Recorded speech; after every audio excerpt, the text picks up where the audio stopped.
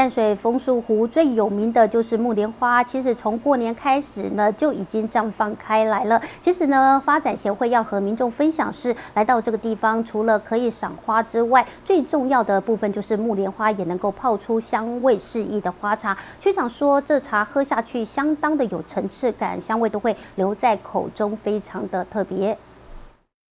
淡水枫树湖以往在过年期间都是许多花卉盛开的季节，而今年在枫树湖有最有名的木莲花，从过年前就开始绽放，现在已经是盛开。不过枫树湖发展协会就说，来到了枫树湖，除了可以赏花之外，其实木莲花的花朵可是能够来泡出香味四溢的木莲花茶。木莲花哈，是我们区长激励我们出来的，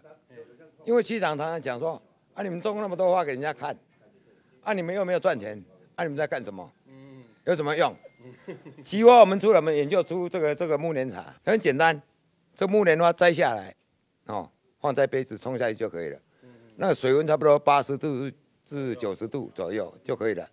冲下去两分钟左右，它味道都能都能出来了。枫树湖总干事说，以往游客来到了枫树湖可以赏樱花，还有最美丽的木莲花，而这些都是免费开放给游客观赏。但是为了发展社区产业，有区长的激励之下，社区收集资料，将木莲花朵直接用热水泡出阵阵清香的热茶。区长说，喝了这个茶下去之后，相当有层次，香味会留在口中，非常特别。哦，把这个花摘下来，哦，简单的清洗之后。哦，拿泡茶来喝，哦，这个非清香甘甜呐，这辈子第一次喝到的，这个这个呃，这个此茶只因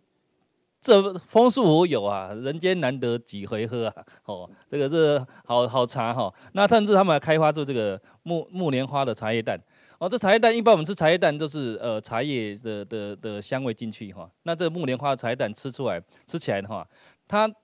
真的是清甜，还有这个木莲花的花香。区长常在讲啊，他跟我讲说啊，你你们这个农民啊，他只会种花给人家看，啊，你们应该去开发一些产品嘛。结果他们想一想，哎，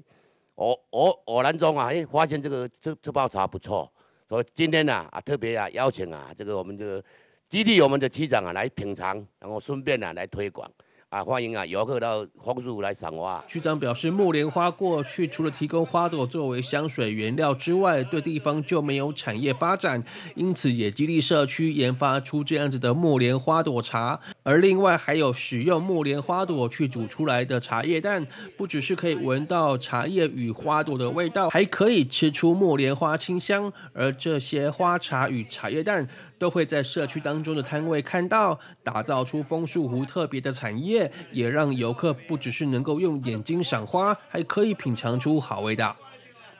记者许端一，但是在报报道。